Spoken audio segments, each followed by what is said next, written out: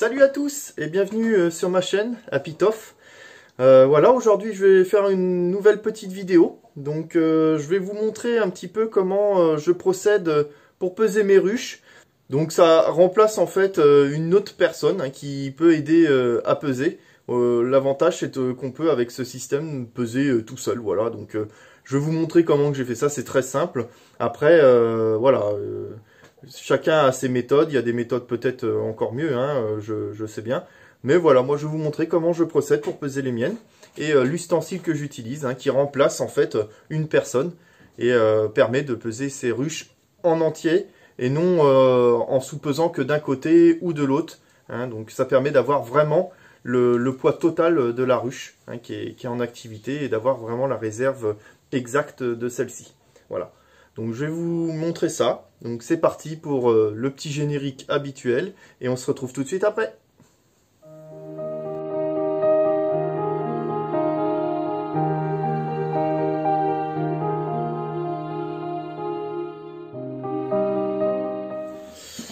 Donc voilà, j'ai mis une, ruche hein, comme, si qui, comme si elle était dans mon rucher. Donc il euh, n'y a rien de compliqué déjà. J'utilise euh, j'utilise de la ficelle, hein, de la ficelle qui est très solide. Et euh, je lui ai fait deux boucles. Vous voyez, hein, on, a, on a un nœud ici avec deux boucles de part et d'autre de même euh, dimension. Donc moi j'ai des ruches. Alors celle-là elle n'a pas de poignée, mais elle a un renfoncement ici. Donc déjà on met notre ficelle comme ça. Vous voyez, hein, c'est rapide. On, place bien au niveau du, toit pour que ça puisse bien lever. Ensuite, j'ai fabriqué voilà, cet ustensile-là. Donc, euh, c'est justement le, fameux... Euh, c'est mon, aide. Hein, c'est celui qui, qui vient me donner un coup de main Hein, au lieu d'avoir une personne physique, bah, j'ai mon petit euh, lève, euh, ruche avec moi. Donc c'est pas compliqué. Hein. Moi, ce que je fais, c'est que je positionne devant. Voilà, je pose mon, mon ustensile comme ça. Je viens placer ma ficelle. Ici, on retrouve mon, mon, peson. Donc je l'allume. Donc c'est un peson qui fait euh, jusqu'à 70 kg. Donc c'est largement assez. Je viens tout simplement accrocher le crochet dessus. Et puis, comme si lui, il va m'aider à, lever, mais euh, avec une charnière. Et on va venir lever tout en maintenant. Vous voyez, c'est assez stable. On attend juste le signal de voir qu'on... Hop On a un bip qui nous indique le poids. 12 kg, 43. On peut le poser aussi sur l'épaule. Je ne sais pas si vous me voyez bien. Donc voilà, comme je vous le disais, on peut poser sur l'épaule on maintient, hop, voilà. Puis on attend que ça, indique le poids. Et puis ensuite, on repose. Bon, l'avantage c'est que même si on a un peu tourné, on peut le retourner tout doucement, hop, et on repose. Et voilà. On repose le tout. On démonte. Et on a juste à décaler, on passe à la ruche suivante. Donc je vais vous montrer ça d'un peu plus près, pour ceux que ça intéresserait. Donc comment est fabriqué mon ustensile? Alors c'est pas compliqué. Hein. Voilà, vous avez juste ici une charnière hein, qui fait euh, mouvement de balancier. Donc on va le mettre en appui sur la ruche. Ici on va retrouver notre peson. Tac, on peut remettre la tare par exemple à zéro. On va venir crocheter comme je l'ai dit avec la ficelle et on va venir lever. Donc là, ça va pas être évident parce que je fais ça à une main. Généralement, je stabilise, euh, je stabilise ma ruche. Et vous voyez, hop, voilà. La ruche est pesée et on peut reposer. Bien sûr, pour la stabilité, impératif, j'ai une grande longueur de bois hein, qui permet euh, de stabiliser mon outil. Donc c'est vraiment une traverse seulement, hein. il n'y a pas besoin de mettre des, dans tous les sens. Une traverse seulement, ça évite euh, que ça bascule de droite à gauche. Et comme ça, comme je disais tout à l'heure, on a pesé notre ruche, hop, on glisse, on passe à l'autre. Hein, donc euh, c'est vraiment très rapide. Il y en a pour euh, juste quelques minutes à couper vos bois. Alors, moi j'ai coupé les bois pour ma, grandeur. Je fais quand même 1m87. Et voilà, j'ai réglé le, le, truc pour ma grandeur. quoi. Donc, mais je trouve ça très efficace. Donc j'espère que vous comprendrez bien le système. Ici, bon, pour l'instant, c'est vrai que là, avec... Euh, j'ai mis du fil de fer, mais euh, j'avais prévu en principe de mettre euh, un anneau. faudrait que je le fasse. Bon, ça fonctionne très bien comme ça. Donc voilà. Donc si par exemple, vous avez des poignées sur vos côtés, il me semble que j'en ai une qui a des poignées, comme ici. Celle-là, elle a des poignées. On peut très bien adapter des crochets hein, sur les ficelles. Hein, ici, on peut très bien adapter les crochets ou alors entourer autour de la poignée, que ça soit un petit peu tendu, et puis que euh, bah, on, fait un petit nœud simple pour euh, pouvoir le détacher plus facilement après. Et ensuite, on va, euh, on va lever notre ruche aussi facilement qu'avec cette méthode. Voilà. Alors, c'est vrai que Peut-être que certains vont se dire, ouais, c'est pas super hein, cette fabrication, mais en tout cas, moi, ça me va très bien. Euh, je, pèse mes ruches très facilement et surtout rapidement. Et euh, l'avantage, c'est que je pèse mes ruches entièrement et non pas que d'un côté ou devant ou derrière. Au moins, j'ai un poids total et euh, ça me permet de bien calculer mes, réserves au niveau de, de, mes ruches.